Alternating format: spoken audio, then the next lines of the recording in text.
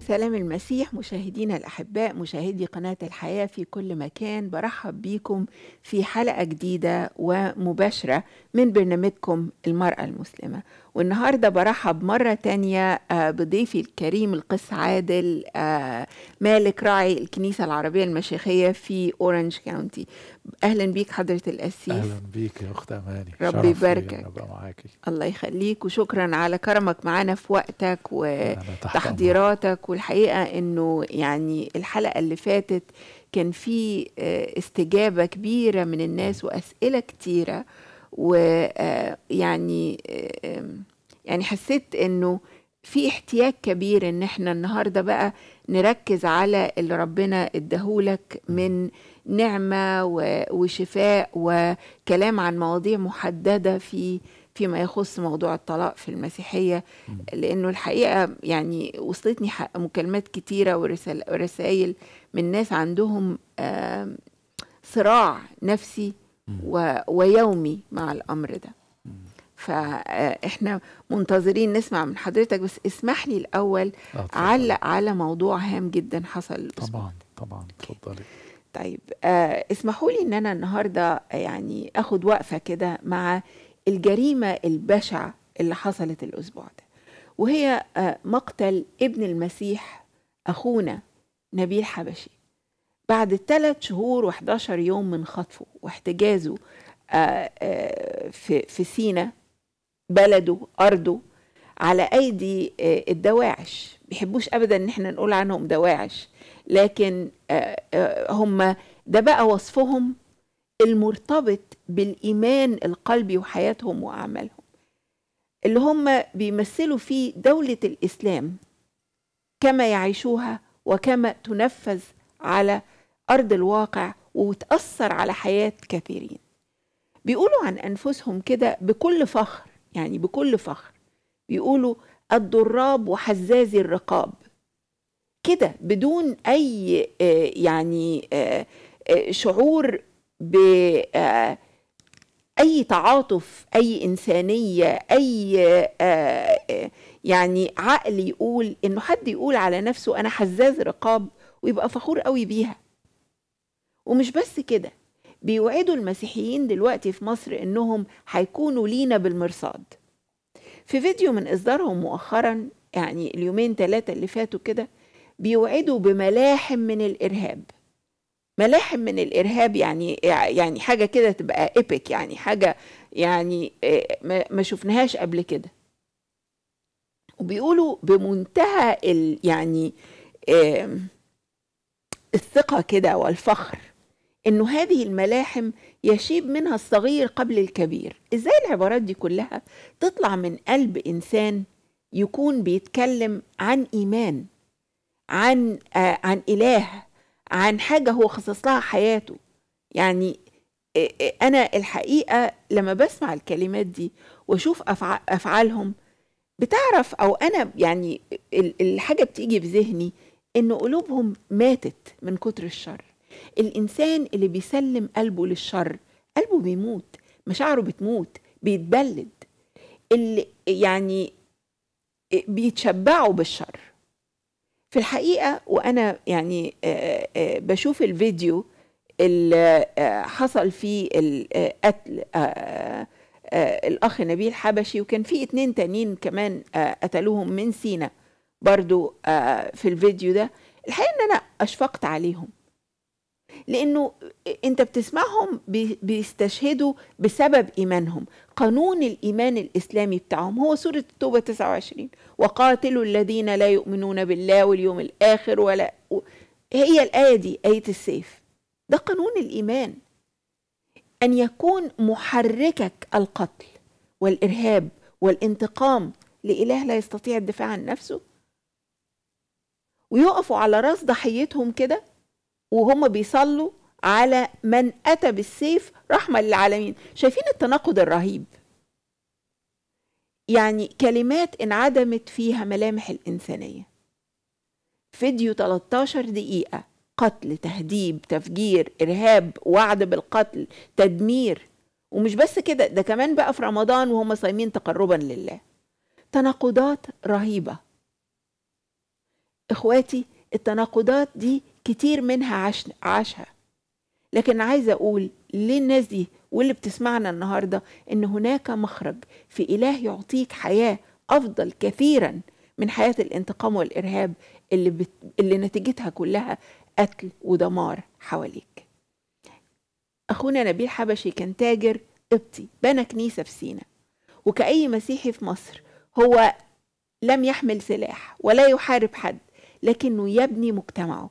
الفرق كبير بين من أتى للهدم والشر وإنزال الرعب في قلوب الناس ومن أتى ليعطي حياة وحياة أفضل كما وعدنا الرب يسوع. أنا بصلي النهاردة عزاء لأهله وسلام لأهله وعائلته وكمان مصر كلها. أولاد مصر الطيبين الأنقياء. بصلي سلام على أرضكم. بصلي معرفة المسيح تنظف وتطهر قلوبكم وحياتكم. مع المسيح أخونا نبيل ذاك أفضل جدا. في اسم يسوع. حضرة الأسيس أنا أسفة أنه النهاردة يوم يعني آه، كان لازم أتوقف فيه عند الحكاية دي. ويعني عادة بيكون عندي ضيف ما بتكلمش في الإسلاميات كده لا أنا لكن، بشكرك لأن الحقيقة ده واقع على أرضنا والنهاردة صحيح. كمان مش بس آه، قضية أخونا نبيل و- والكثير من المسيحيين. اللي بيوعدوا بالقتل اليوم على أرض مصر من أجل إيمانهم. ده قتل على الهوية. صحيح. زي الذكرى اللي إحنا واقفين أمامها النهارده والأسبوع ده بالتحديد هي آه، أكتر من 100 سنة على آه، مذبحة ال- آه، الأرض. الارمن مم. ف يعني آه، لو حضرتك عندك تعليق اتفضل. لا أنا اللي بشكرك لأن دي ده وقت مناسب جدا إن إحنا نتكلم عن آه، اللي بيحصل في الشرق الأوسط نعم. وال آه، والفروق الرهيبة ما بين آه، المسيح وأي حد تاني. نعم. فأنا اللي بشكرك يعني على إنك أنت بتذكرينا بال بمن نعبده. أمين. لو لو حضرتك تحب تصلي من أجل آه، الأخ نبيل وعيلته آه، اخواتنا الأرمن اللي بيتألموا كل سنة في هذه الذكريات الأليمة. يعني اتفضل. شور. إلهنا العظيم القدوس لك كل الشكر يا سيد لأنك أنت يا رب اللي علمتنا عن طريق ابنك اللي جه لأرضنا علمتنا المحبة والسلام علمتنا الروح آه، اللي بتحنو على البشرية وعلى خليقتك يا رب. يا رب بشكرك من أجل أنك أنت آه، اللي بتنور عينينا وبتورينا الفرق بين النور والظلام. يا رب بصلي بصفة خاصة من أجل عيلة الأخ نبيل. آه، أنت يا رب المسهم بعزاء من عندك. أنت يا رب اللي بنلجأ إليك في وقت الألم بنلجأ إليك وقت الحزن. يا رب عزي قلوبهم. عزي كل شخص يا رب فقد حبيب ليه. أه بصلي كمان يا رب من أجل إخواتنا الأرمن وهم بيتذكروا أكتر من مئة سنة على المذبحة الرهيبة اللي حصلت على أرضهم. يا رب بصلي لأنك أنت يا رب اللي إحنا بنلجأ إليه وقت ال ال الألم الفظيع وقت الحزن الرهيب. آه وبسألك يا رب أن كل شخص بيشاهدنا النهاردة أنك أنت تلمسه آه تعزيه تشفيه وتساعدنا يا رب أن إحنا نكون فعلا يا رب ملح ونور نعم. آه كما كان وكما طلب مننا الرب يسوع نعم. في اسمه نصلي آمين. آمين يا رب إحنا بنشكرك وأيضا نقدم غفران لكل من مد يده بشر على إخواتنا آه ونطلب يا رب إنك تلمسهم لمسة خاصة اليوم. طيب خلينا آه، نعود بقى لموضوع حلقة النهاردة. وحلقة النهاردة بعنوان الطلاق في المسيحية والجزء الثاني وماذا بعد الطلاق؟ ده سؤال مهم بيسأله كثيرين وسأله كتير من الناس. خليني أذكركم أنه في الحلقة الماضية قدم لنا القس عادل الخلفيات الكتابية لموضوع الطلاق في العهد القديم وفي العهد الجديد. وناقش معانا بعض الاستثناءات المرتبطة بالآيات اللي بتتكلم عن الزواج والطلاق والتفسيرات اللي ساعات بتكون متطرفة في هذا الموضوع. واتكلم عن كلمات المسيح المباشرة في الأمر وأيضا كلمات الرسول بولس ورأي الرسول بولس. أنا بشجعكم قبل ما يعني آه، نسهب في الأمر ده إنكم ترجعوا تشاهدوا الحلقة دي علشان الربط بينها وبين حلقة النهاردة مهم جدا. دي الأرضية المهمة آه للكتاب والأرضية المهمة لما سنتكلم عنه النهاردة. عندي أسئلة كتير من المشاهدين. أنا هجملها في مواضيع آه يعني مش هتكلم عن الناس بالخصوص. ونناقشها مع الدكتور عادل. التليفونات مفتوحة ليكم لكن أرجوكم تليفوناتكم تكون قاصرة على آه، سؤال علشان ندي فرصة آه، لأخونا القس عادل إن هو يعني يسهب في شرح اللي ربنا وضعه على قلبك النهاردة. ويعني أفتح لحضرتك المجال ومش هتكلم كتير. لا لا ده من فضلك قطعيني وتكلمي وخلي. المشاهدين كمان يسألوا علشان آه، المناقشة تبقى آمين. يعني حية. آمين. اتفضل. آه، أنا هبتدي زي ما حضرتك قلتي إحنا ناقشنا المرة اللي فاتت الآيات الكتابية سواء آه، من العهد القديم أو العهد الجديد. Yeah. آه، خليني بس ألفت النظر لجزء مهم قوي في كتابي وبعدين بعد كده نتكلم في الحاجات العملية ممتاز. بالنسبة للطلاق. ممتاز. من احترامنا للرب يسوع. خلينا نشوف هو اتكلم إزاي. وقال إيه خاصة تفسيرنا لكلماته في الموعظة على الجبل. إحنا من احترامنا للرب يسوع لابد إن إحنا الكلمات اللي قالها نفسرها كمان مظبوط. مظبوط. مش بس نقراها. آه أنا مش بعني على فكرة إن نترجمها من اليوناني للإنجليزي أو العربي فقط. لكن نعرف شكل النص الأدبي نعرف إن إحنا آه، في بيننا وبين هذا النص ألفين سنة. آه، وبيفصلنا مجتمع عاشوا فيه بطريقة تختلف تماما عن مجتمعنا النهاردة وبتفصلنا لغة مش كلنا نعرفها حتى لو نعرف يوناني على فكرة هم اليوناني اتغير على مدى الألفين سنة زي أي لغة تاني. كل الأمور دي خلينا نشوف لما نقرأ كلمات الرب يسوع في الموعظة على الجبل نفهمها إزاي. وأهم شيء إن إحنا نحاول نشوف نفسنا في البداية خالص لما هو اتكلم بيها إزاي المستمع الأول فهمه إزاي القارئ الأول فهم متى. لما لما كتب الموعظة على الجبل دي نقطة خلينا- هامة جدا في قراءة الكتاب عموما بالظبط نعم. كده اتفضل. فأنا هقرأ بس آه، عددين وبعدين هقرأ جزء تاني علشان نحطه في الضوء يعني. آه، متى؟ 5 31 32 الرب يسوع بيقول إيه؟ قيل أيضا معلش سامحيني إن أنا هقرأ برضو من الترجمة المبسطة. لا مفيش مشكلة. أعتقد إنها كمان الترجمة المبسطة هنا. عظيم. قيل أيضا إذا طلق أحد زوجته فليعطيها وثيقة تثبت ذلك. أما أنا فأقول لكم إن كل من يطلق زوجته إلا بسبب الزنا فإنه يعرضها لارتكاب الزنا. ومن يتزوج امرأة مطلقة فإنه يزني. لكن بننسى إن في جزء قبل ده. في جزء ثلاث أربع أعداد حاجة زي كده أيوة. اتكلم بيه الرب يسوع هقراه لك ونشوف إحنا إزاي بنفصل مع إن نفس النص أيوة. بنغير تفسيرنا. يعني مرة نعمل حاجة نقول حاجة آه، نقول ده تفس... المفروض يبقى تفسير روحي. يا. ومرة تاني نقول ده تفسير حرفي. إزاي. هقرأ لك برضو متى خمسة بس من 27 إلى 30 أوكي. سمعتم أنه قيل لا تزني. بيتكلم برضو عن الزنا. أما أنا فأقول لكم إن كل من نظر إلى امرأة ليشتهيها فقد زنى بها في قلبه. لذلك إن كانت عينك اليمنى تدفعك إلى الخطية فاقلعها وألقها بعيدا عنك فالأفضل أن تفقد عضوا واحدا من جسمك من جسمك من أن يطرح جسمك كله إلى جهنم. وإن كانت يدك اليمنى تدفعك إلى الخطية فاقطعها وألقها بعيدا عنك فالأفضل أن تفقد عضوا واحدا من جسمك. من أن يطرح جسمك كله إلى جهنم. السؤال بقى.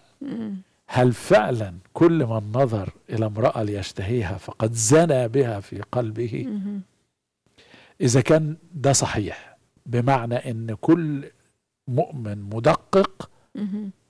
آه، عايز يطبق الآيات دي حرفيا يبقى المفروض يكمل الجزء اللي بعده لذلك إن كانت عينك اليمنى تدفعك إلى الخطية فاقلعها وألقها بعيدا عنك ليه. مش بشوفش رجالة أيوة. آه، أتقياء بيخلعوا عينيهم آه، زي ما أوصى يسوع. ليه ما بيفسروش التفسير الحرفي؟ الحقيقة إنه ده حصل في الكنيسة القديمة. في بعض الحاجات لكن تلاميذ. الرب يسوع. ورجال الكنيسة الأولى خالص في القرن الأول. مهم. ما طبقوش ما عملوش كده. ما عملوش كده. نعم. وقد يسأل سؤال شخص يعني عن إن المسيح علم نفس الشيء. في متى 19 اللي هو بعيد عن الموعظة على الجبل لكن أيوة. استخدم نفس الأسلوب. يا الرب يسوع بيستخدم نفس الأسلوب في أماكن كتير. فعلينا إن إحنا نبذل مجهود نعم. علشان نقدر نفهم الكتاب. إذا كان قصد يسوع مش حرفي في الجزء الأولاني عن الشهوة مهم. ليه أفسره حرفي في الجزء الثاني عن الطلاق؟ يعني لابد إن يبقى في اتزان في التفسير. خليني أقول لك خمس أجزاء هامة يقصدها الرب يسوع يعني خلينا نسأل طب هو طب قصده إيه بالشهوة؟ مهم. إذا كان قصده مش ما هوش حرفي. يبقى قصده إيه؟ خمس أجزاء سريعة. يسوع عايزنا نتعهد تعهد كامل ليه. ونكون تلاميذ تابعين للملكوت. عايزنا ملح ونور للعالم اللي هو في بداية على فكرة متى خمسة عدد من 13 أظن آه، ده كان سياق موعظة على الجبل أيوة. إن إحنا نكون تلاميذ في الملكوت تاني حاجة عايزنا نفسر كلماته مش حرفي. عايزنا لأن الحرف يقتل الروح يحيي وكانت دي لغة العصر على فكرة. دي كانت اللي عاش فيه ما كانش عندهم لا تلفزيون ولا آه، صور ومشاهد نقدر نحطها جنب الكلمات بتاعتنا ولا حتى يعرفوا يقروا. أغلبهم ما كانش يعرف يقرأ. فكان لابد من استخدام صور بلاغية علشان آه، فيها نوع من المبالغة الأدبية. مبالغة أدبية علشان يوصل لهدفه. كان أغلب الموجودين زي ما بقول لا يعرفوا القراية ولا الكتابة. فاستخدم هو الصور دي. وم- ومشهورة جدا على فكرة في الوقت ده. ثالث نقطة إذا كان يسوع بيتكلم في الفصل في نفس الفصل ده عن زنا العين وإنه مش زنا فعلي.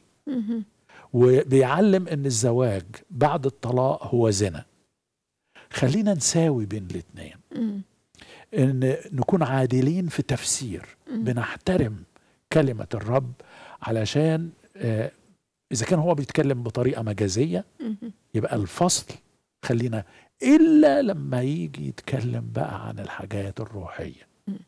ده نفسره حرفي. مش كل حاجة نفسرها نفسرها آه، ب- بطريقة روحية. مم. أنا بقول بعض الأجزاء تفسر تفسير حرفي. أول ما هيبتدي يتكلم عن الألوهية أول ما يتكلم عن الحاجات اللي خاصة حتى بالشريعة. أيوه. آه، لكن ما نجيش لكل فصل ونحاول نفسره آه، تفسير حرفي. خليني أبسط الأمر شوية خالص. للمشاهد المسلم أيوه آه إخواتنا المسلمين دايما آه الحقيقة بيتأثروا جدا بالموعظه على الجبل مم. لأنه ودايما هناك حالة تعجب يعني مشهور مثلا عن الشيخ الطيب إنه كان عامل زمان يعني لما كان بيتكلم كويس عن المسيحيين كان عامل آه، آه، فيديو بيتكلم فيه إنه قد إيه هو بيتأثر وبيبكي من الموعظة على الجبل. يا سلام. لكن يقف المسلم أمام الموعظة على الجبل على إنها شيء صعب المنال. مم. لأن المسيح بيرتفع بينا من من الجسد إلى الروح. مم. في كتير من تعليمه في على الموعظة في الجبل الغفران آه، محبة الأعداء آه، آه، إزاي إن الواحد إذا آه، عثرتك عينك دي إنه ربنا عايز تراقب قلبك قبل عينك. صحيح. سو so, uh, يعني المسألة مش صعبة قوي كده. هي هنا الرب بيتكلم على إنه عايز يرفعنا من العيشة في الجسد إلى العيشة في الروح. لما نبقى تلاميذه زي ما حضرتك قلت. بالظبط أما تبقى كده. تلميذ حقيقي. صحيح. صح. صحيح أوكي الشيء الرابع. إن ده مش مش معناه إن إحنا بنشجع الطلاق على فكرة. كل ما زادت الحرية كل ما زادت المسؤولية أي. آه، في آه، على كل آه، مكان في أي مدينة في أمريكا محلات لبيع الخمور نعم ليه ما حدش فينا بيروح واخد إزازة خمرة ويشربها ويروح راكب العربية ويسوق ويقتل حد. أي. مع إن في حرية. في مسؤولية. لكن في مسؤولية. عارفين إن القانون ده صعب. نعم. فأنا آه، ده مش فتح باب للطلاق الطلاق لأي سبب. والأسباب تافهة. لكن رأيي إن الكنيسة لا تقرر موضوع الطلاق. أي موضوعات شخصية. إحنا نساعد فيها الناس إنهم يكبروا في الإيمان ويقرروا الحاجات لأن كل جزء مهما زادت الليحه بتاعت ال- الحسنات والسيئات أو ال- يعني الأخطاء وال أيوة. والصواب هتفضل تتغير هذه اللائحة لأنها من وضعنا إحنا. نعم. لكن إن إحنا نكبرهم في الإيمان ونخليهم هم يقرروا بنفسهم بالتالي يكون الطلاق قانون. ملوش علاقة بالكنيسة السياسة والقانون حاجة. بتاعت البلد. والحاجات الخاصة بالإيمان نعم. حاجة تاني. وبعدين نسندهم ونعضدهم ونقف معاهم مهما كان قرارهم. مظبوط. آه وما يعني بلاش اللوم الكتير على شخص طلق. إحنا ما نعرفش ظروفه إيه. ونتعلم من يسوع من مش من ثقافتنا. الثقافة كان هو على فكرة ضد الثقافة. ياما أيوة. حاجات قالها ضد الثقافة خاصة بالنسبة للمرأة. مهم. آه، آخر حاجة وخامس حاجة أهم دور للكنيسة هو العمل على تحصين الناس ضد الطلاق. تعليم الناس المتزوجين والمخطوبين. آه، تعليمهم الزواج الناجح إزاي أحافظ على العهد اللي أنا خدته؟ نعم. حل المشاكل في بدايتها. الجرأة في تحويل المشاكل الكبيرة في الزواج إلى الناس المتخصصين. مش كل حاجة الأسيس يعرفها. نعم. ياما بيجي لي ناس بيكونوا بقالهم عشرين سنة بيتخانقوا كل يوم مع بعض. مهم. دي خلاص دي مش دي مش أنا اللي أقدر أفتي فيها وما أقدرش آه، أساعدهم. بحولهم لأطباء نفسيين أو ناس متخصصين اجتماعيا في على الشفاء. الأقل. بالظبط أخصائي كده. اجتماعي في آه. في الأمر ده. آه. نعم. وكلنا لابد إن إحنا نتواضع ونقول إن في حاجات ما نعرفهاش مظبوط. في حاجات نعرفها وفي حاجات. ما نعرفهاش. في حاجات تغذي روح الزواج. ما ينفعش يعني ما ينفعش إن أنا أفضل عايش على نفس الحاجة وفي عندي مشاكل في الزواج لابد إن أنا أقف وقفة إحنا نقف وقفة مع بعض كأزواج ونحاول نحل المشاكل. دايما في حضرتك اتكلمنا عن عدة أسباب آه، يعني للطلاق. أنا عايزة أحط آه، يعني سبب هام جدا. هو يعني آه، ال- البطانة لكل الأسباب اللي هتيجي لل- لل- للطلاق. وهو إنه أحيانا كتيرة إحنا بنبحث عن بدائل لله في علاقاتنا. وفي حياتنا. إحنا بنبحث عن شيء يملانا. غير المر... ال- المصدر الأول محبة الله معرفة الله الشبع بالله. وإنه كمان إيه، يعني ال... إيه، لما بنقول إن في مشاكل في الزواج. إذا في خطية مستخبية somewhere في مكان ما. وده بيؤدي إلى انكسار البيت. ده صحيح. So, so, okay صحيح. طيب تسمح لي آخد مكالمة سريعة؟ آه، آه يمكن طبعاً. عندنا عابر الأخ بولس. أهلا بيك أخ بولس. الرب يباركك. عندك سؤال للقسيس مساء الخير أختي أماني ومساء الخير على ضيفك الكريم الأول. أهلا. مساء النور. أهلا بيك. آه بالنسبة للي هو للطلاق اللي هو في المسيحية آه صراحة أنا حطيت لي عنوان. أنا عايز أحط له كده عنوان. okay اتفضل. الطلاق في المسيحية أنا بسميه الطلاق الشرعي. والجواز في المسيحيه أنا بسميه الجواز الحديث.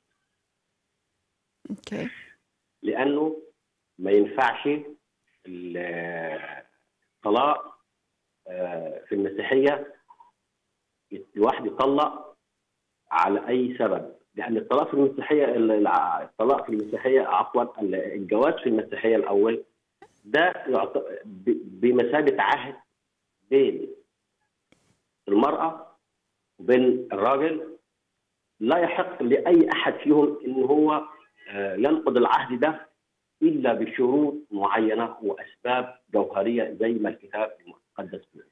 طيب أنا عارفة إن أنت سمعت الحلقة اللي فاتت وحضرة القسيس كلمنا في الموضوع ده أنت عندك سؤال بالتحديد للقسيس النهارده يا بولس لا أنا بس كنت بس بحب أعلق على موضوع ال- الجواز بس. الجواز طيب. في المسيحية زي ما قلت لك ده عهد عهد موثق. ما ينفعش مظبوط. أخل بيه. أما أما الناحية الثانية بقى ال- اللي هو الجواز اللي هو في, في الإسلام ده ده مش جواز. أنا بعتبره ده زنا. طيب يعني بص بص أنا أنا هقول لك حاجة يا بولس. أنا عارفة أنا مبسوطة إنك اتصلت لأنك عابر وبتعبر عن آه، ال- ال- الخلفية اللي اتعلمتها واللي الرب غيره فيك. بس أنا عايزة أقول لك حاجة كمان إنه ربنا قدس الزواج في كل أحواله.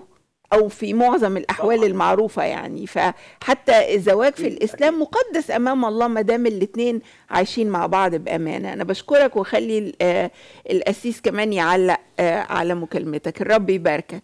آه، هقول لك حاجة شكرا اخت تمام شكرا. آه، شكرا ليك يا أخ بولس. آه، الحقيقة هجاوبه على سؤاله. في جزء على ما أعتقد هنتكلم فيه بالنسبة لبعض الأسئلة. أيوة. هن- هنتساءل وهنحط أسئلة مش بس قدام الاخ بولس لكن قدام كل المشاهدين. وأنا نفسي آه، بحطها قدامي وأحيانا مش قادرين نوصل لإجابات. ففي أسئلة بتخلينا نتحرك. يعني هل آه، ال- ال- الجواز آه، ثابت؟ طب بس الرب يسوع قال لا. قال لا في حالة يحدث فيها الطلاق وما فيش مشكلة. تقصد أبدي يعني؟ هل الزواج ده هل؟ الزواج أبدي؟ يعني لا. وإحنا في السماء مش هنبقى أزواج. مظبوط. مش هيبقى فيش آه،. لأن آه، بالتالي وبولس قال سبب تاني عليه إن فهنشوف الأسئلة دي وغالبا هلمس جزء كبير من آه، ال- ال- اللي قالوا اللي قاله الأخ بولس. ممتاز. كنت حضرتك ابتديتي تسألي وت- وتتكلمي عن أسباب الطلاق. أيوه فال ال... كنت بتكلم عن إنه البحث عن بدائل لله في حياتنا. مظبوط. نعم. ووجود خطية. صحيح. نعم. صحيح. فأنا يعني بعد ما يعني فكرت وقريت و- السؤال ده رائع. ونفسي نبص بس فقط على بعض الأسباب اللي بتسبب الطلاق. أيوه وهم ال- اللي أنا شايفهم من خلال خبرتي وشفت خلال الناس اللي هم آه، عندهم مشاكل. وخلال قراياتي كمان فهشوف آه، بعض الأسباب منها آه، اللي بتسبب الطلاق مم. نمرة واحد الزنا. أسوأ حاجة للزواج هو الزنا. ودي الحاجة نمرة واحد. لما واحد من الطرفين ما لا يجد اكتفاء في العلاقة الجنسية الجسدية بيبتدي في البحث آه، خارج الزواج عن الاحتياج ده. لكن ده مش غلطة الطرف الآخر. ده مش سبب للخيانة الزوجية. في الحالة دي دي فرصة للنقاش بصراحة ومحاولة إيجاد الحلول المشكلة أن اللحظة للأسف الشديد اللي بتفقد فيها الثقة بين الزوجين بيبقى صعب أنها ترجع نعم. تاني حاجة مشاكل مالية. المشاكل المالية قد تكون سبب في الطلاق آه، إذا ما كانش فيه اتفاق على مين يساهم في إيه ومين هيعمل إيه و آه، وعلى أساس قيمة المال بالنسبة مهم. لكل واحد من الزوجين. أيوه. هل المال ده هو أهم حاجة في الدنيا. ولا المال ده وسيلة علشان الله اداها لنا علشان نعمل آه، بيها خدمات أو الحقيقة دي مهمة جدا لأنه كتير من الناس ما بي ما يعني ما بيحددوش موضوع ال... الاختلاف على الماديات بالظبط. آه كأساس للطلاق. يمكن في الإسلام عندنا دي أسهل. يعني صحيح. الست يقول لك ده ما بيصرفش ده بخيل مش عارف إيه هاي. لكن في المسيحية إحنا عارفين إحنا كل كل حاجتنا مع بعض مظبوط. لكن ما بنحطش ده. آه ك ك آه نقطة هامة يجب أن تعالج قبل الزواج ونتفق عليها عشان ما تبقاش مشكلة بعد الزواج صحيح ثالث حاجة مشكلة الكوميونيكيشن نعم. التواصل مع. بعض آه، من واحد على فكرة أو من الاثنين نعم. ممكن تكون التواصل بصراحة مم. وشفافية وبسرعة. مهم. لكن باحترام. كتير أقول للمخطوبين حاجتين مهمين قوي اوعى تنسوهم كل يوم في حياتكم. المحبة والاحترام. مظبوط. تالت حاجة بفكرهم بيها إنهم مش لازم كل يوم بس تبقى دايما في ذهنهم التواضع مع بعض. مم. المعاملة مش أنا الزوج يبقى أنا الآمر الناهي. مم. أو مش أنا الزوجة يبقى أنا ما علياش غير بس إن أنا أحب. يعني يعني أو إن أنا أخضع. كل دي كانت لحالات لابد ونتكلم ونتكلم ونفتحها. نعم. أنت أنا مهمتي إيه؟ المناقشة احترام المناقشة. رابع حاجة الجدال والخصام. اللحظة اللي بيبتدي فيها صوتنا يعلى دي لحظة غضب. ولازم. تتابعه تماما. الجدال المستمر إن شخص من الطرفين آه، عنده مشكلة وشايف إن مش شايف حل يعني. طب بس في ناس تقول لك طب ما عادي يعني إحنا بنتجادل بنتخانق ما ده عادي. هل ده ممكن يبقى عادي؟ لا ال ال ال العادي إن إحنا نت نتناقش. نعم. لكن اللي مش عادي الجدال والخناق. في ال ال العالم قلب مفاهيمنا. بالظبط. لأنه أولاد الله مش لازم يتجادلوا هي المسألة مش خناقة. بالظبط. ممكن أقول نقطتين مهمين على اللي حضرتك قلته برضو إنه في الثقافة بتاعتنا مفهوم إنه الاحترام الراجل يطلب الاحترام. والست عادة ما لا تتلقى الاحترام في العلاقة الزوجية. مم. يعني عندي مشاكل كتيرة بسمع من ناس مسيحيين. كنت أعرف واحدة صاحبتي جوزها يعني سامحوني في الكلمة آه، ما كانش بينادلها باسمها كان بيقول لها يا حمارة واو يعني و و ومسيحي وبيحضر الكنيسة و آه، بس جوه البيت. ده اسمها فالواقع إنه آه، في حاجات يعني إحنا بنقول ممكن تكون ما تكونش موجودة في البيت المسيحي لكنها موجودة. طب تعمل إيه الست اللي بتعيش تحت هذا العنف واللفظي مم. وممكن يكون ما فيش عنف جسدي بس في أيوة. عنف نفسي ولفظي طبعا طبعا. دائم كل يوم. دي خطر. نعم. آه مفيش مرة الرب يسوع آه غير يحترم ويحب الشخص. مم. حتى لو كانت زانية وأمسكت في ذات الفعل. نعم. كل اللي كان سأله هو لها هو ما تكلمش معاها في الأول. لكن في الآخر لما لقاهم مشيوا نعم. بيقول لها أما دانك أحد؟ قالت له لا يا سيد. قال لها ولا أنا أدينك. اذهبي ولا تخطئي. ال- المشكلة إن إحنا مش بيدعى علينا اسم الرب يسوع لكن غالبا ما نعرفوش هو شخصيا يا. مأساة. أنا هرجع للنقطة دي بعد ما حضرتك تخلص كل الأسباب لأن ماشي. عندي سؤال مهم عليها آه. أوكي خامس حاجة زيادة في الوزن دي قد يظن الناس إنها آه، مشكلة سطحية نعم لكن دي بتقلل شوية آه، العلاقة الجسدية والجنسية نعم. أو بتخلي فيه عدم ثقة بالنفس. وعلى فكرة آه، كل الحاجات اللي أنا بقولها دي ليها علاج. كل المشاكل. دي ليها علاج.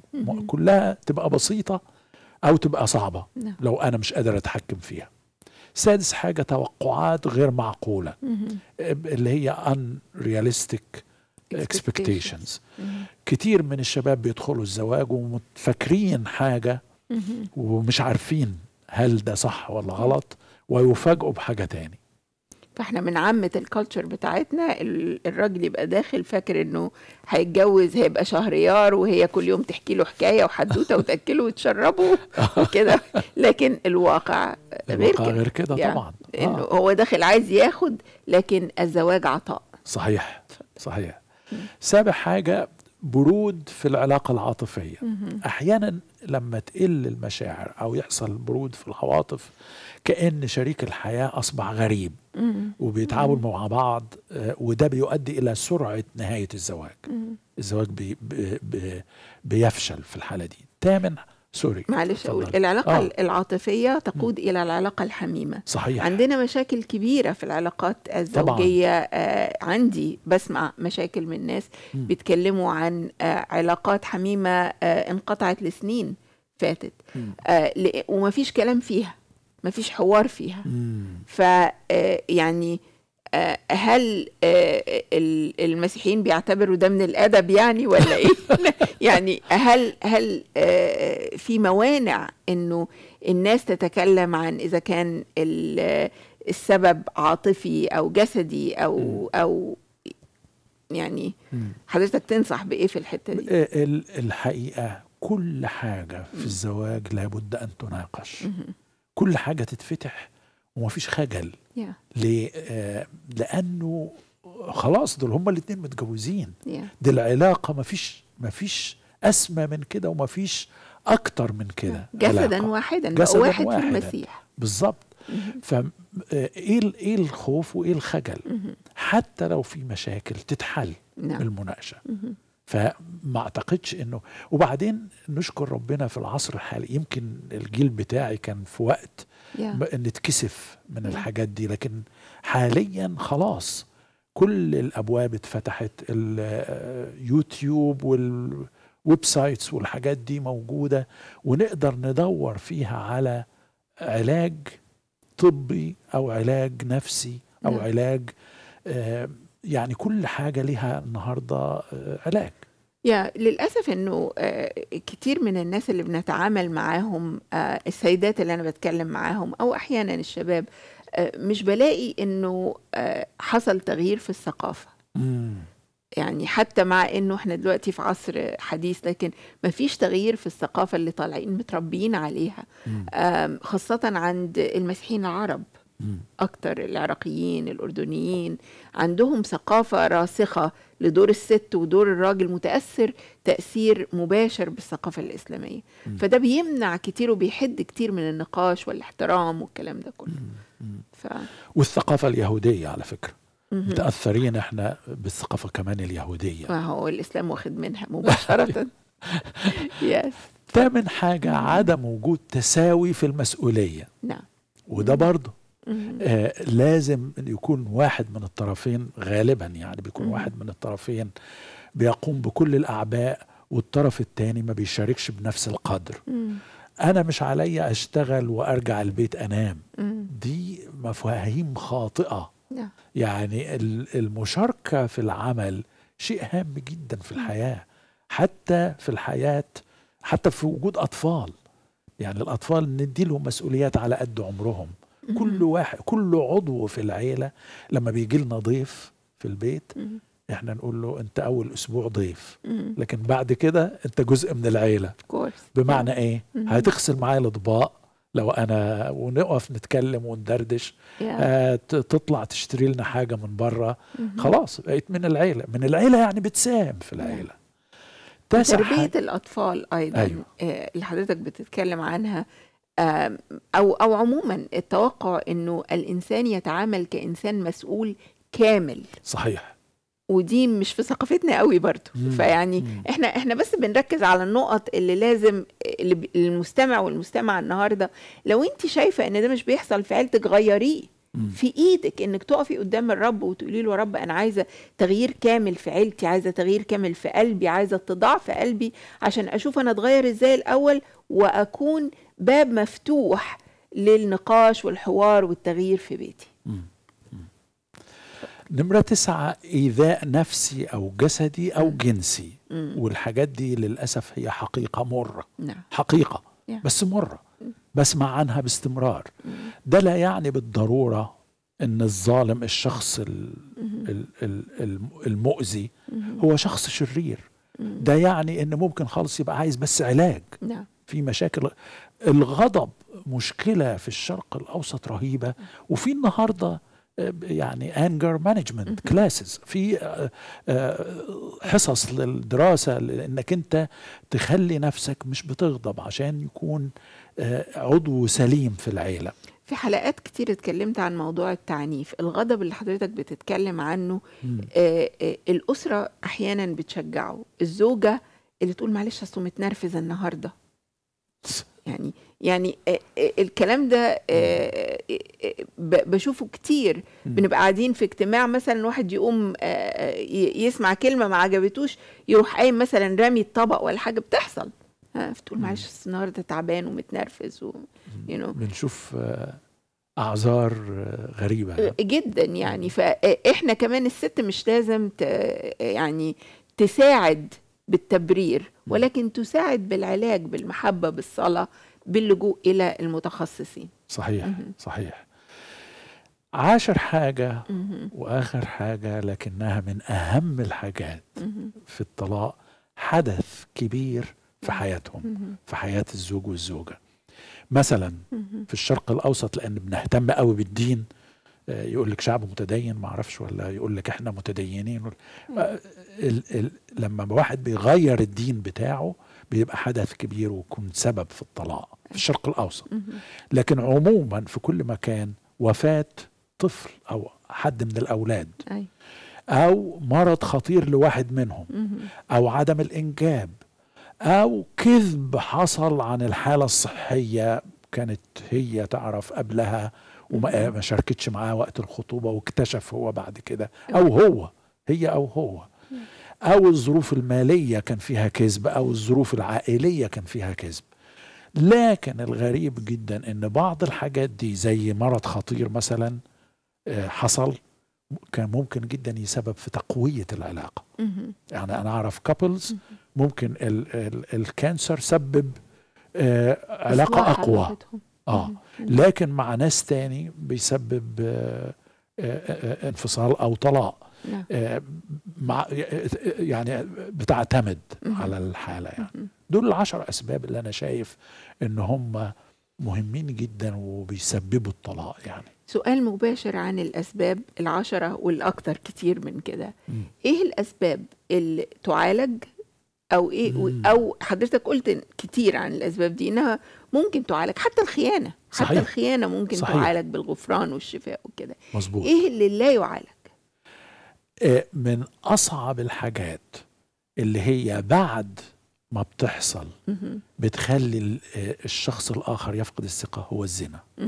دي مش مش بقول إنها لا تعالج أوكي آه، تستطيع لو لو الزوج زنى افترض لأن آه، هو الرب يسوع فرض افترض إن الزوجة هي اللي زنت أي لكن أنا هفترض إن الزوج اللي زنى من على فكرة النهارده تعداد دول زي دول بالظبط يا- الاثنين تقريبا عدد الحالات اللي كلمتني في وسط الأسبوع كده وكده بالظبط. بالظبط.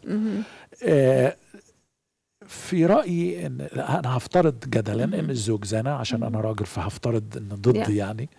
آه، لو في حالة الزوج ما بيزني. ليه هو علاج. وهي تستطيع الغفران. نعم. يعني ليه زي ما حضرتك قلتي أيوة. بالظبط. لكن في نفس الوقت بيبقى صعب جدا إن الحالة ترجع زي ما كانت. إلا.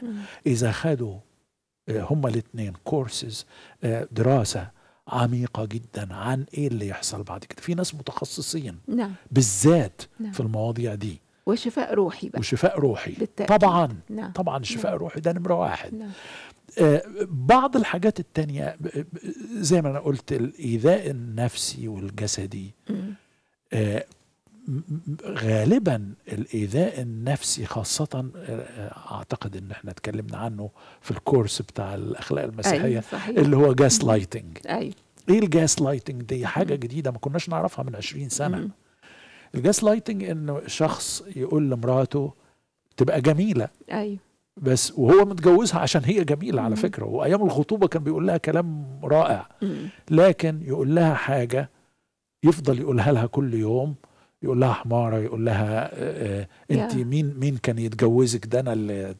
كل يوم يقول لها حاجة ومش موجودة مم. فعلا فيها لحد ما هي تصدق الكلام اللي بيتقال gaslighting ده رهيب الإيحاء بإن ده الإيحاء. بالظبط يعني آه، يا آه، وده تدمير لنفسية ال- الإنسان سواء كان صحيح. الراجل أو الست وفي ست تقدر تقول له تفضل تقول له بس أنت مش راجل يعني you know دي فظيعة دي كلمة صعبة قوي بالذات بالنسبة يعني. للراجل الشرقي يا وحتى لو مرة ما بينساهاش يعني آم، إيه- إيه- يعني طيب في العنف مم. موضوع العنف أيوة. أسأل حضرتك في الموضوع ده لأنه كتير عندي آه آه ناس بيروحوا لل- للقسيس يقولوا له أنا أنا معنفة بيضربني. يعني مثلا وهم جوه الكنيسة كويسين وما فيش أي حاجة. آه. لكن بيضربها. فالقسيس يقول لها. معلش استحملي هنقعد معاه هنتكلم معاه وترجع تاني مضروبة ومت... ومتخرشمة. وبعدين تقول خلاص أنا مش قادرة أستحمل يقول لها ده صليبك. آه، أنا هقول لك رأيي لأن أنا عايش آه، في أمريكا وفي الغرب وده طبعا ممكن حد لو يسمعني من الشرق يتضايق أنا في رأيي من أول مرة. تطلب البوليس ده رأيي آه، هو مش هيتوقف. عن هذه العادة غير لما هزة جامدة تحصل.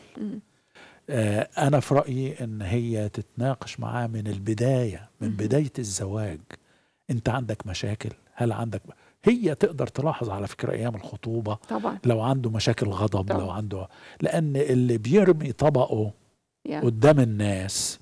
ده بالتأكيد بيعمل حاجات أكتر بكتير من مظبوط. ورا الناس مظبوط فده رأيي أنا رأيي. طبعا إن أنا ما فيش آه، رجوع عندي إلا لما يروح يتعالج من اللي بيعمله بدائلنا في الشرق إيه؟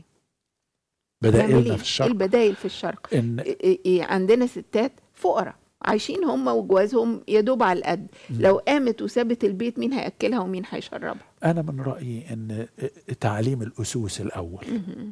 تعليم القسيس إنه مش. العلاج إنك يا بنتي ابن الطاعة تحل عليه مش عارف الكلام أيوة. اللي مهم. بيقولوه وإنت يا ابني هدي سرك معاها مش. ده العلاج. العلاج إن يشوفوا حد في الكنيسة يكون مم. متخصص نعم. طبيب نفسي ودلوقتي انتشرت الحكاية دي نعم ما بقتش عيب إن الواحد يروح لطبيب نفسي ليا صديق قسيس. أول زيارة أزوره فيها في كنيسته واقف في الطابور الناس اللي بتسلم عليه لحد ما وصلت له يا. بيقول لي تعالى أعرفك بمجموعة أول واحد عرفني بيه قال لي this is my psychologist مم. ده الطبيب النفسي بتاعي أيوه مم. آه، ما فيش ما بقاش في عيب هل النهارده الكنيسة ممكن تعمل آه يعني أنا أنا في في ذهني كده إنه الكنيسة إخوة في الجسد بيعضدوا بعض في كل احتياج. طبعا. فمش بس الاحتياج المادي ولكن الاحتياج للعلاج النفسي. آه كان آه يعني في المثل الشرقي يقول يقول إيه؟ اللي ملوش ظهر يتضرب على بطنه. فيعني واللي ملوش كبير يتعمل له كبير. أيوه. فالكنيسة لازم تجد مين اللي يقف للست اللي بتتضرب كل يوم دي ويبقى الكبير اللي لازم يواجهه هذا الشخص. صحيح. ولكن في نوع من الأنانية والتغطية مم. في الأمر ده. فيعني يا ريت أسمع من أسس وخدام يبعتوا لنا ويقولوا لنا إن أنتوا هتعملوا كده. يعني أو إن أنتوا هتبنوا آه، آه، آم، آه، آه، مجتمعات تعضد آه، آه، المرأة المعنفة في الحياة الزوجية. مم. يعني ودروس للأسوس. يعني نفسي نتواضع. نعم. مش كل حاجة إحنا بنعرفها مهم. ومش كل حاجة أنا أتدخل فيها. نعم. إيه، حتى لو الكنيسة يعني انت المثل اللي ذكرتيه بتقولي إن ما عندهمش إمكانيات كبيرة. مهم. الكنيسة تساعد في الحاجات دي. هل طبعا. تجيب بقى طبيب نفسي. يقعد في القرية. لو كانت قرية ويدرس ليهم. إيه، ال- البداية بتاعت الهيئة القبطية الإنجيلية في مصر مم. كانت بداية رائعة وما زالت على فكرة. بس قصدي إيه كانوا بيعلموا الستات كانوا بيعلموا المرأة في الريف تقرأ وتكتب يكون لها شخصية صحيح. تقدر تدافع عن نفسها نعم. وتقول لا لحاجات يعني يعني أحيانا لما الست بتقول لا في الشرق الأوسط بتتهم بإنها مش عارف آه، آه، ال- ولا آه. خارجة عن ال... آه صوتها عالي والكلام ده كله يا لكن آه، الحقيقة إنه آه، في في بعض المنظمات دلوقتي بتعمل آه، آه، تعليم للمرأة صحيح في إنها تعرف هويتها مع الله. هي مين مع ربنا. هي مين في عينين ربنا فلما تشوف المعاملة المعاكسة لده هتعرف إن ده مش من ربنا صحيح أوكي. صحيح أخلي حضرتك تكمل النقطتين اللي عايز تكملهم وعندي سؤالين كمان لا أنا خلاص هم دول الأسباب اللي أنا شايفهم العشرة لل, لل... هل في لل- توجيهات. تانية تحب تضيفها للكنيسة؟ آه عندي أسئلة مم. بحس إنها أسئلة مهمة مم. ومحاولة للإجابة أحيانا ما, بن- ما بنعرفش الإجابة إيه أيوة وخلينا لما لما نجاوب مش لازم مش لازم نكون قاعدين على كرسي عالي. بنجاوب منه دي أسئلة مجرد إن أنا آه، الاستثنائين اللي هم قلناهم المرة اللي فاتت أيوة. استن- استثناء اللي هو الزنا. بتاع الرب اللي قاله الرب يسوع والاستثناء الثاني إن الترك أو. الهجر. اللي قاله آه، الرسول بولس لكن في أسئلة تاني غير كده. كل ما بيتقدم بينا العصر كل ما بيجي لنا أسئلة إيه اللي يحصل لو إن الطلاق حدث لأسباب غير السببين دول أيوة. وحصل. حصل طلاق تعمل إيه الكنيسة فيه. آه السؤال الثاني إيه اللي يحصل لو الزواج أو الطلاق حصل قبل ما الشخص يبقى مسيحي بالظبط. ودي في حالة العابرين. في حالة العابرين حالة مهمة الجواز جدا. طلاق حصل آه، آه، قبل ما الشخص بقى مسيحي ورجع اتجوز تاني. صحيح. أيضا هناك كنائس أو أو مجموعات تنظر لده بعين يعني شوية فيها حكم يعني آه، ولو حصل طلاق تاني. في حالتي أيوة. أنا ات- اتطلقت من زوج مسلم واتجوزت زوج مسيحي. ولكن مشي مم. فاتطلقت تاني. You know هل آه، الأشخاص اللي زي كده ممكن يتجوزوا تاني؟ مش بقول إن أنا هتجوز تاني بس بس هل الأشخاص اللي زي كده يتجوزوا تاني ولا لأ؟ أو نظرة الكنيسة للأمر ده. بالظبط. أسئلة نعم. أنا في رأيي ما أقدرش أ- أ- طبعا أحط قاعدة نعم. وأمشي عليها. كل حالة ليها ظروف معينة. بس وعلينا المرة اللي فاتت حطيت قاعدة. إيه، صحيح. اللي فكريني. هي بقى إيه؟ قاعدة إنه إنه إيه المخطئ. صحيح. دي قاعدة دي صح قاعدة طبعا. إيه، إيه، واحد مراته سابته خلاص. آه غلطت طبعا. إيه، عندها علاقة تانية وسابته. مظبوط. أوكي. يتجوز ولا ما يتجوزش؟ ليه يفضل عايش في حالة الوحدة والألم دي؟ على فكرة م. ده مجرد رأي. نعم. وما مش عايزين نقدس القاعدة. مظبوط. يعني, يعني- هذا الرأي. صح. طب طب خليني أنا أقول حاجة تاني أنا قلتها برضو. آه، الشخص المخطئ أيوه اللي زنى. بسأل دايما سؤال.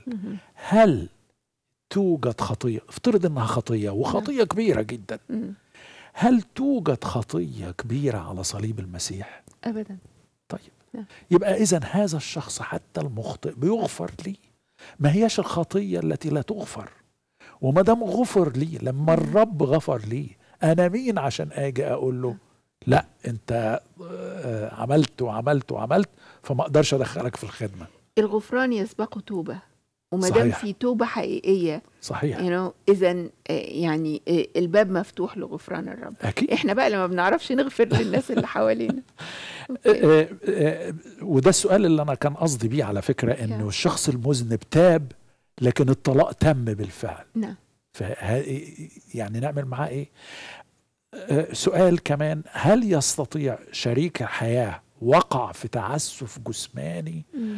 على فكرة التعسف الجسماني مش بس تعسف جسماني مم. بيصيب الجسد ده معاه وراه حاجات النفس بتتبعه طبعاً. نفسي ومنتلي طبعا هل يعني هل نسمح للشخص ده اللي إنه يسيب الزواج.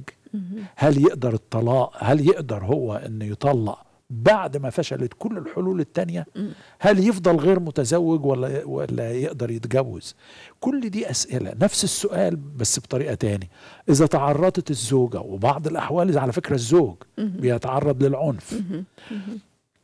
إلى تعسف آه، نفسي جنسي آه، آه، جسدي هل تخرج الست أو الراجل من الكلام ده عشان تحافظ على نفسها.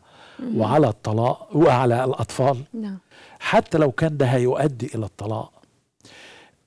أي خطية في رأيي هي قابلة للغفران. بدم المسيح. آه الخطية الوحيدة اللي هي الروح التجديف على الروح القدس ودي خطية كلنا عارفين إن هي مش كلمات لكنها عمل مم. عمل معين. عادة بيتقال للزوجة أنت نحن نتشبه بالمسيح إذا بقينا في عذابنا. دي أسوأ نصيحة وبيساء فيها لأنها بتتعذب جسمانيا وبالتالي بيخلوها تتحمل ذنب. وخزي الموقف. كأنها كأنهم هم بيحققوا هدف مجيد حضرتك قلت خزي الموقف دي فعلا حاجة تفضل حاسة إنها طب أنا ما عملتش كفاية بالظبط آه، آه، الرسول بطرس. بيدينا مث- مثال عن تحمل المسيح للألم في بطرس الأولى ثلاثة. لكنه لا يوجهنا أن إحنا نقبل العنف. العبد أيامه كان بيتحمل آلام صحيح. لكن كان آه، بس ما كانش يقدر يهرب. النهارده بولس كان صحيح لما كان بيعظ على الإنجيل حتى أمام الإضطهاد. وكان على صواب لما كان بيهرب من الاضطهاد مم. أعمال تسعة وأعمال 14 وأعمال 14 17 نعم. آه، يسوع نفسه اعترض على اللي لطمه. إذا كان في وسيلة إن إحنا نهرب من اللي إحنا فيه. أو نجد حلول في خلال من خلال العلاج للحاجات دي يبقى يبقى نتجه إليها بيصعب علينا إن إحنا نحكم بين الطرفين آه، نعم. طالما إن المسألة نظرية أنا مش شايفها يعني آه، لكن بلا جدال آه، في أمور آه، ما ينفعش فيها إنهم يستمروا في العلاقة في مثل الغفران اللي اتكلم عنه المسيح آه، روح للكنيسة روح لإخواتك آه، وال- والطرف اللي بيرفض في الآخر آه، الرب يقول لنا ليكن عندك كالوثني والعشار هو رفض العلاج رفض التوبة خلاص لازم يعني آه، أنا الحقيقة دايما بيجي في ذهني كلمة الرب إنه جاء ليعطينا حياة وحياة أفضل. صحيح. هو عايز حياة أفضل لينا مش لازم نعيش تحت قيد العبودية دي. مم. فاضل دقيقة هسيبها لحضرتك اتفضل. آه، خليني أوجه كلمة ل- لنفسي آه، وليكي أخت أماني وللمشاهدين. آه، آه، هنا نظرة رعوية. مم. خلينا نح يعني نركز مش على الاستثناءات. خلينا نركز على التحصينات. التحصين ليه الزو... في ناس. عندهم زواج ماشي وكويس وحلو. لا يوجد زواج على فكرة كامل. لكن في زواج ناجح. إزاي الزواج يبقى ناجح الزواج الن- الناجح يأتي إن إحنا نعد أيام الخطوبة. الشخصين اللي هيتجوزوا دول آه وندي لهم مشورة. لكن في نفس الوقت لما تحصل مشكلة نعود الناس إن المشاكل تتحل أفضل وهي المشاكل صغيرة. أمين. أمين. أشكرك من كل قلبي على. وقتك ومحبتك وكلمات النعمة دي. الله يخليك. الرب يباركك. وتعدنا بلقاء آخر إن شاء الله. باسم يسوع. أحبائي آه على فكرة العشب مش دايما أخضر في الناحية التانية.